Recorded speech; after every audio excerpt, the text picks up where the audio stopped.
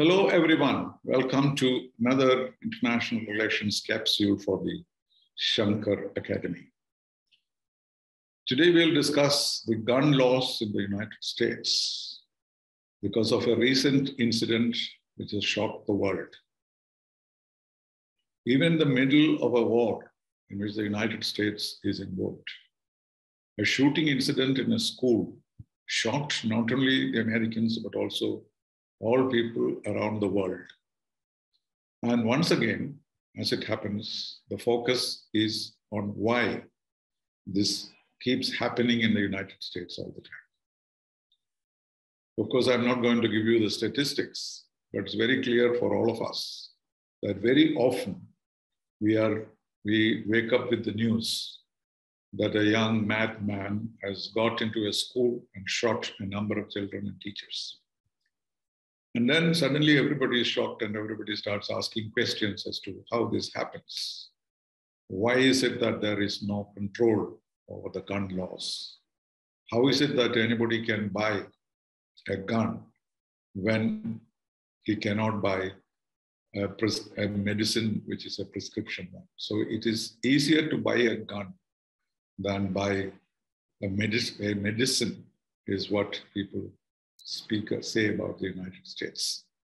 So there is a focus for some time, and everybody discusses issues. Everybody says this should be changed, the gun laws should be changed. And then slowly everyone forgets it till another incident happens in another corner of the United States. So, why is this happening? And the President of the United States, Joe Biden, spoke passionately, spoke almost desperately uh, by asking, when in God's name are we going to stand up to the gun lobby? So, this is the president speaking, the most powerful man in the United States. He's saying that when in God's name will you be able to stand up to the gun lobby? So, which means the president is admitting that the gun lobby is more powerful than him.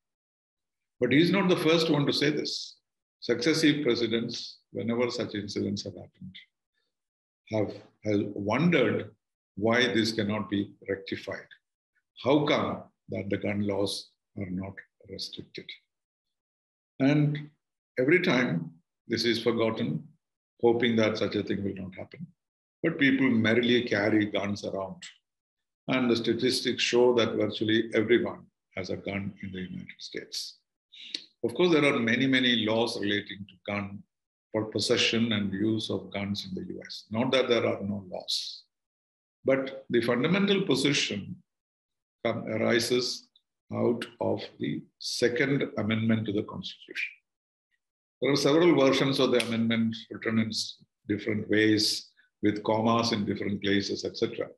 But basically, it says as follows A well regulated militia being necessary to the security of a free state, the right of the people to keep and bear arms shall not be infringed. So, this amendment has been read in various ways in different courts of law. Because, as you in the United States, is not a uniform law in every state. Different states have different legal frameworks. But of course, there is a federal Supreme Court uh, which determines the final interpretation of the law. So this particular amendment has two aspects to it. It speaks of a militia being necessary for a state or any, any state uh, to protect the right of the people. So then immediately after that, it says the right of the people to keep and bear arms shall not be infringed. So this was interpreted by different states. But finally, in 2008, the Supreme Court affirmed for the first time that the Second Amendment guarantees an individual right to possess firearms independent of service in a state militia and to use them for traditionally lawful purposes such as self defense within the home. So, if this Second Amendment is related to uh, official agencies like militias or army, etc., then it makes sense. And that is why some people read it, because as part of the militia or as part of the army, which is necessary for a nation, people should have the right to use arms. But then the interpretation given by the Supreme Court in 2008 gives it a different meaning. That is, regardless as to whether you are a member of a militia or not, whether you are a part of the law and order structure or not, you have the right to keep and bear arms. And the purpose also, the Supreme Court ruled that um, this is for the uh, traditionally lawful purposes of arms, such as self defense within the home. So, which means that the fundamental right to carry arms and to use them for self defense has been guaranteed by the Constitution. And any change you have to bring into this will mean another amendment to the Constitution, a big debate. And nobody, no president has been able to manage that. And under this protection, the sale and possession of arms is perhaps the most liberal in the United States. And not only that, this has been used. So you can imagine having some kind of a law which is helpful to criminals, but it can all be dealt with in specific cases. That is true. But here, what happens is that because of this general amnesty, as it were, the general permission given to the people to indiscriminately possess arms without any restrictions. Of course, there are several restrictions imposed by the states, but all these restrictions cannot infringe the right of the people to bear arms. This is very different from most countries of the world because in most cases, you need a license you cannot just buy a gun off the shelf in most countries. And even if you buy a gun, then you are, uh, you are kept under watch as to what you need it for. And so there are so many restrictions. But that doesn't mean that people don't get killed in other countries. In India also we have so many crimes. Because since they don't have guns, sometimes use other methods like using even a python or a snake uh, to kill someone. So the human, the, the human tendency to take lives of others is something which is not possible to describe because no other species of animals kill their own species. They kill others, but they don't kill their own species. But it is only human beings who kill other human beings for whatever purpose. And therefore, it is necessary for them to be controlled, and the possession of weapons should be strictly controlled in order to avoid this. Whether it will prevent such actions by mad people who go into a school and kill innocent children, that's a different matter altogether. But generally, there is a feeling all around the world that uh, these should be changed. But as it happens, no president, however powerful, uh, can make any, any change in the system.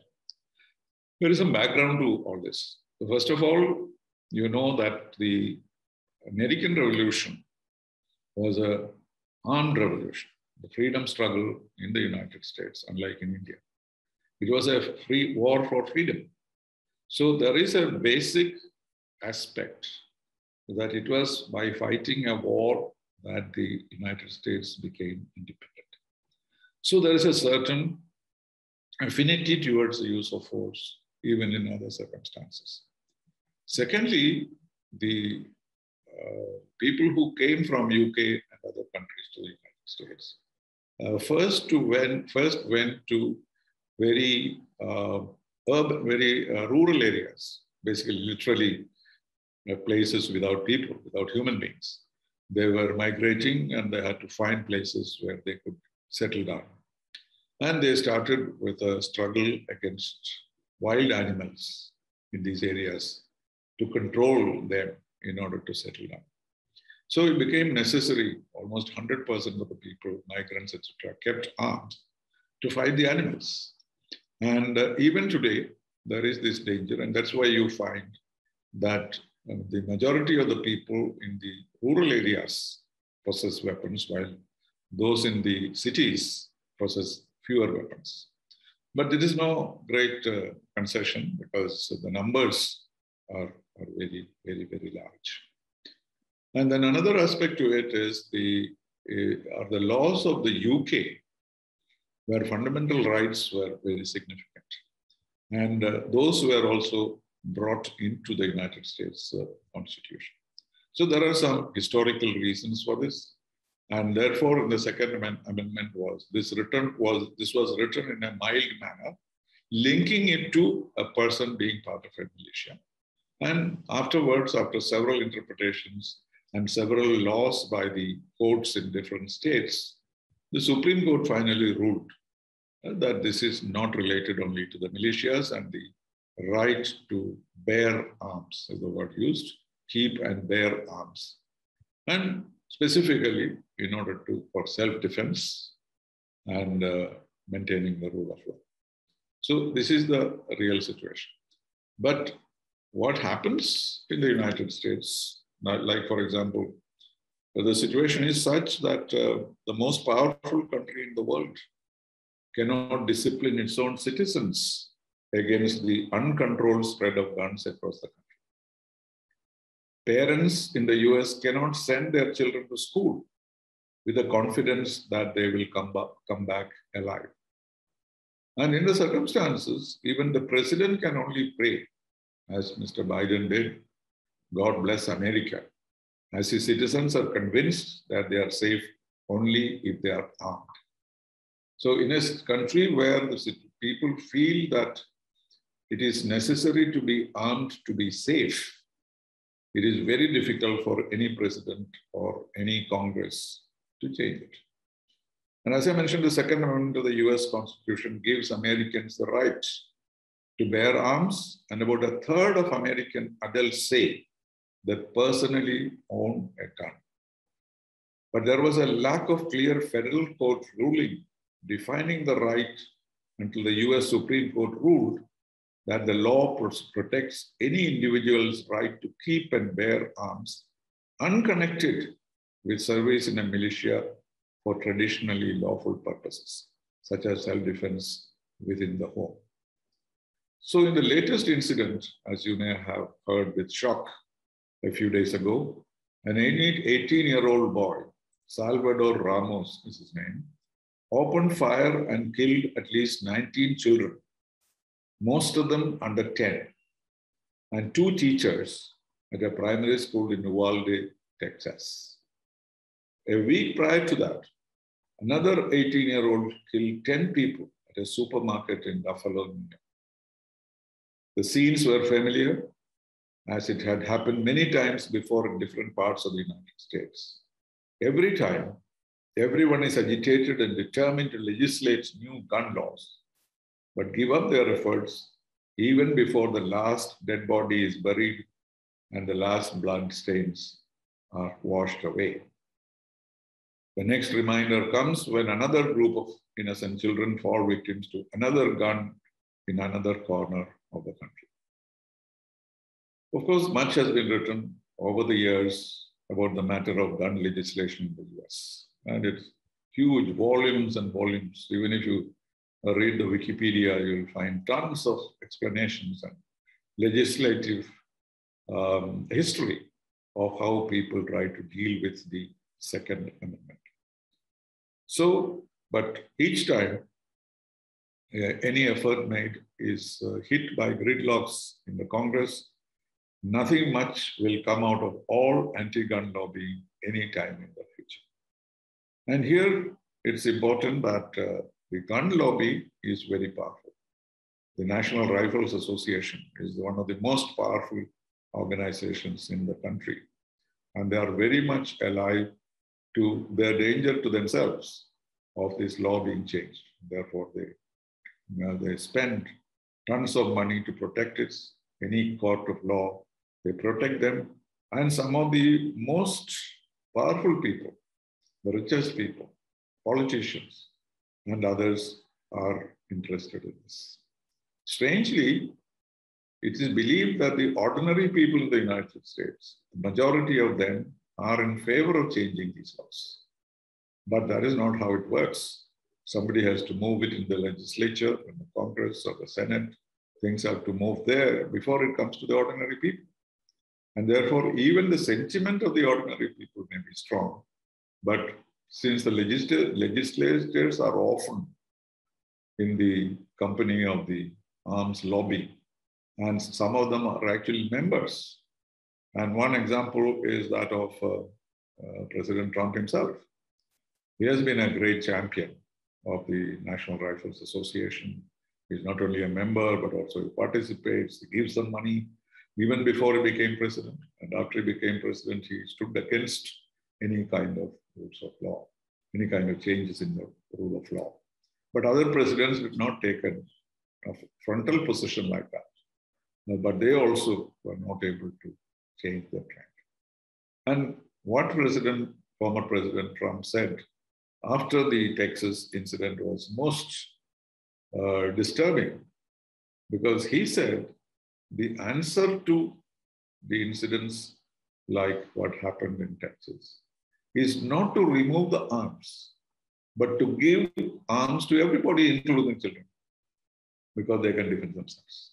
Can anything be more stupid than that? Can we hand over guns to children in schools to defend themselves? So he has twisted the argument and said that uh, this case uh, justifies a more liberal law about guns. And so arming the people will be the answer uh, to the uh, situations like this.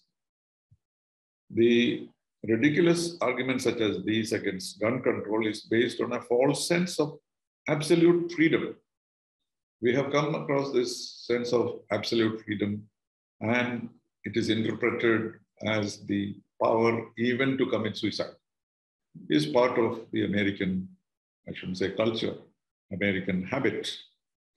And uh, you know the recent incidents of people not wanting to wear masks or to take vaccination openly. They defined it, defied it. They held demonstrations. And even today, a large, large number of people in the United States neither wear masks nor take vaccination. So this is a way of expressing what is called absolute individual right. And this is not helpful for any country. So the against this risk of death, the greatest threat to human security, this absolute freedom, a concept that most Americans believe in, enable or prompts them to take such very extreme situation, extreme positions, like it happened in the case of the pandemic. The largest number of deaths occurred in the United States partly because of this idea of uh, uh, absolute freedom, which cannot be restricted in any manner. And uh, of course, the society makes rules and regulations, but certain, certain things like arms control laws do not cope with the situation. But the polarization in the society on this subject is unbelievably strong. We might think that um, these differences are small and people may be willing to do this. But if you look at the statistics, you will find that uh, the polarization is strong and we do not have a situation where people might move on to a different uh, gun law system. Uh, there are differences in gun ownership rates by political party, affiliation, gender, geography, and other factors. For instance, 44% of Republicans and Republican leaning independents say they personally own a gun. So the Republicans, that is the richer society, people in the society who are interested in uh, uh, hunting, for example, and also interested, you know, scared of other human beings because of the huge wealth they hold. So these are the two factors. They, they are afraid of attack by the ordinary people or by criminals, and therefore they think they need to have it. And the others are very much interested in hunting And there are many competitions and there are many festivals where they want to participate. And therefore, the Republicans, who are the richer people in the United States, 44% of them, uh, they personally own a gun, compared with 20% of Democrats and Democratic supporters. Of course, men are more likely than women to own a gun. 39% of men uh, owns guns, while 22% of women, only, only 20%, 22% of women uh, own guns. And 41% of adults living in rural areas report owning a, a firearm, compared with about 29% of those living in the suburbs and 2 in 10 living in cities. Still, it is huge. Even in the cities, 2 out of 10 people have, have guns. And these fall into the hands of uh, irresponsible people. It falls into the hands of children. Sometimes these things ha- happen by accident. So the gun sales have risen in recent years, particularly during the pandemic. That's another strange thing. During the pandemic, when people were actually should have been afraid of the of the virus, they were also afraid of uh, military attacks. More than half of the US population favors strict gun, gun control laws. So that is the, um, the, the peculiar thing about the United States, that if you ask individuals, 53% favor strict control laws, but the population is divided as to gun control will reduce shootings as it is believed that those who shoot are mentally deranged people who respect no laws. So this is another argument put forward by people who oppose gun laws, saying that by changing the laws, you cannot change the habits of you know, mad people. So they will in any case get hold of guns from somewhere. And this happens all over the world. Even where there are gun controls in different countries, uh, these things happen. So what we have to do is to control the um, mentally deranged people who do this. This is very true because most of these uh, incidents, finally, when the culprit is caught and uh, tried in the courts of law, it also always turns out more as an excuse rather than anything else that they were mad at that time for some particular reason. And the psychologist or somebody will help them to prove that they were in a state of frenzy or a state of, uh, um, what shall we say, uh, security, insecurity. And they do that, and therefore, the, no need to control the gun, guns. What we need to do is to arm everybody so that everybody can protect himself and also set up secure barriers. That is one thing President Trump also mentioned. He said we need to protect our children by having barriers in the schools and um, gunmen deployed in order to uh, save the children and also make sure that uh, these bad people don't get into the schools. These are easier said than done because in no case has such a person been arrested or killed before he did the damage. So always the person concerned, the perpetrator is caught or shot only after he has committed the crime. So where is the question of uh, making it secure by having more fences or more security guards? So like it happened in the United States after 9-11, we know how much internal security has been strengthened. And it is true that the United States did not have a major terrorist attack after 9 11. So the new regulations that they brought in uh, for uh, security uh, did have an effect. And so all of us who travel to the United States have to go through this extra security and sometimes very invasive uh, security checks.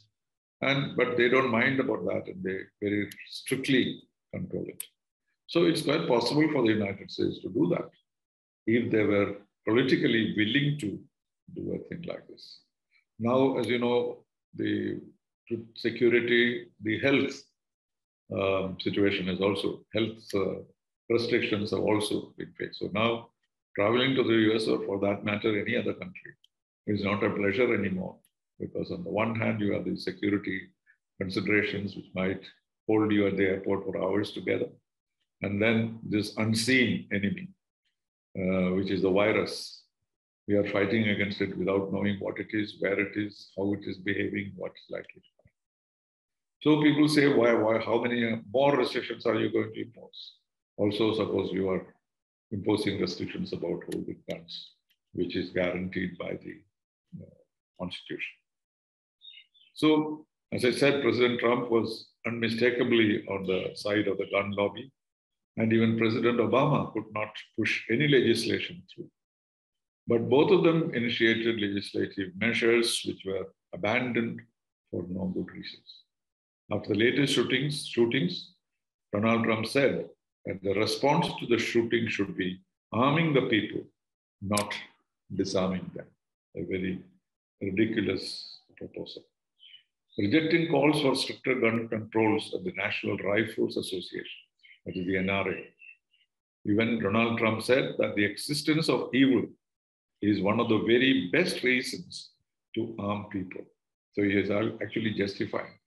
He said, whatever restrictions you may make, there will still be harmful people in the country, and they cannot be controlled. And then what is the point of doing this? And then it will mean that the gun lobby, the gun manufacturers, and these are not just ordinary guns, these are assault weapons. One shot you can kill many people.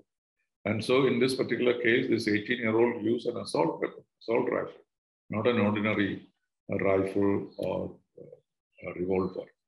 So he said that Americans should be allowed the firearms to defend themselves against people. As for schools, he recommended a strict security system to prevent shooting incidents. Again, these are mere excuses to avoid changing the law. Of course, President Biden spoke movingly and blamed the gun lobbies for inhumanly preventing legislation. But don't forget that he is the president of the United States. He kept saying that the time had come for action, but did not promise anything except rhetoric. He moved his audience to tears with his words about the children. But at the end, he had nothing to say except say, God save America. And, the, and this is what uh, the president said. And the gun manufacturers have spent two decades aggressively marketing assault weapons, which make them the most and largest profit making companies. And this is very true. So he honestly said that the reason why gun control is not possible in the United States is because of the lobbying efforts of the gun manufacturers. And uh, so he said, for God's sake, we have to have the courage to stand up to the industry. Here, what else I know, he said, most Americans support common sense laws, common sense gun laws, and left it at that. A mix of passionate attachment to personal liberty, I mentioned earlier, one reason. Second, profit making by gun makers. Third, fear of fellow human beings. Fourth, passion for hunting. And fifth, sheer lethargy and negligence till something serious like the shooting incident. So we would also join the president saying, for God's sake, how many more innocent children will be sacrificed before the laws are changed? Sadly, the only superpower stands bewildered without an answer as the rest of the world watches helplessly. So, this is the situation. It has many dimensions. It has a major political dimension, a constitutional dimension, a temperamental dimension, the right to absolute liberty, and the Constitution itself has been interpreted by the Supreme Court in such a way. And in these circumstances, we cannot believe that this will end. And we can only hope and pray that these things do not happen again. Because even if they happen, I do not that the, think that the lawmakers in the United States will be able to enact laws which will prevent such bloodshed. Thank you.